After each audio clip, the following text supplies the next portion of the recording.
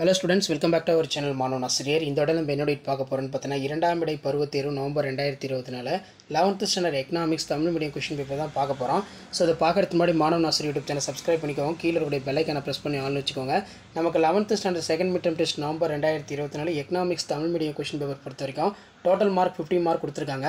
One mark பொறுத்த வரைக்கும் பதினஞ்சு ஒன் மார்க் இருக்குது புக் பேக் ஒன் மார்க் நல்லா தரவாக படிச்சுக்கோங்க. ப்ளஸ் இந்த கொஷின் பேப்பர் கூடிய டூ மார்க் ஆகட்டும் த்ரீ மார்க் ஆகட்டும் ஃபைவ் மார்க் ஆகட்டும் இதுவும் ஸ்கிப் பண்ணாதீங்க. எல்லாமே ரொம்ப ரொம்ப முக்கியம். நீங்கள் எந்த டிஸ்ட்ரிக்டாக இருந்தாலும் சரி கண்டிப்பாக இந்த கொஷின் பேப்பர் வந்து கொஷின்ஸ் எல்லாம் உங்களுக்கு அப்படியே ரிப்பீட் ஆகும். ஸோ ஃபஸ்ட்டு ஓரிரு வாக்கியங்களை வைத்திருக்க இருபத்தி ரெண்டாவது கொஷின் கம்பல்சரி பசுமை புரட்சியின் பலவீனங்களை பட்டியலிடு. மனித வளர்ச்சிக்கு குறியீட்டாக கணக்கிட உதவும் குறியீடுகள்.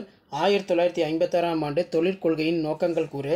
இந்திய பொருளாதாரத்தின் கட்டமைப்பு சீர்திருத்தத்தை செயல்படுத்த காரணம் என்ன? அதே மாதிரி நிதி சமநிலையினை கட்டுப்படுத்த ஆயிரத்தி தொள்ளாயிரத்தி தொண்ணூத்தொன்று ஆயிரத்தி தொள்ளாயிரத்தி தொண்ணூற்றி ரெண்டில் ஏற்பட்ட கொள்கை முயற்சிகள் மூடினை கூறு குடிசை தொழில் வரையிறு ஊரக பொருளாதாரம் வரையிறு. அதே மாதிரி பதினஞ்சு கொஸ்டின் இதில் ஃபைவ் இன்ட்டு த்ரீ ஃபிஃப்டீன் பதினஞ்சு மார்க்கு த்ரீ மார்க் பொறுத்த வரைக்கும் வணிக வங்கிகள் தேசியமயமாக்கப்படுவதற்கான காரணங்கள் பன்னிரெண்டாம் ஐந்தாண்டு திட்டம் பற்றி குறிப்பு வரைக ஊரக வேலையின்மை வகைகள் யாவை உலகமயமாக்கல் தொடர்பாக எடுக்கப்பட்ட நடவடிக்கை புதிய வர்த்தக கொள்கை சாராம்சம் விளக்குக.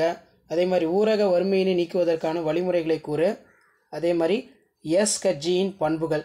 நெக்ஸ்ட்டு வந்து டூ இன்ட்டு ஃபைவ் டென்னு இதில் பார்த்தீங்கன்னா ஃபைவ் மார்க் கொஸ்டின் பொருளாதார முன்னேற்றத்திற்கு சிறுதொழில் நிறுவனங்களின் பங்கினை வரி இந்திய ஐந்தாண்டு திட்டங்களின் செயல்பாடுகளை வரி ரெண்டாயிரத்தி பதினஞ்சு ரெண்டாயிரத்தி இருபது ஆண்டிற்கான ஏற்றுமதி இறக்குமதி கொள்கை சிறப்பியல்புகள் ஊரக பொருளாதாரத்தின் பண்புகள் அதே மாதிரி விசித்திரமானவை விளக்குக. ஸோ இதான் eleventh standard common second midterm test November ரெண்டாயிரத்தி இருபத்தி நாலு. எக்கனாமிக்ஸ் தமிழ் மீடியத்துக்கான கவர்மெண்ட்டோட அஃபிஷியல் ஒரிஜினல் கொஷின் பேப்பர் மறக்காத வீடியோ ஃப்ரெண்ட்ஸுக்கு ஃபார்வர்ட் பண்ணுங்கள் மாணவ நாசர் யூடியூப் சேனல் சப்ஸ்கிரைப் பண்ணுங்கள் கீழே இருக்கக்கூடிய பெல்லைக்கான ப்ரெஸ் பண்ணி ஆள் ஸோ இதான் அப்டேட்டு தேங்க்யூ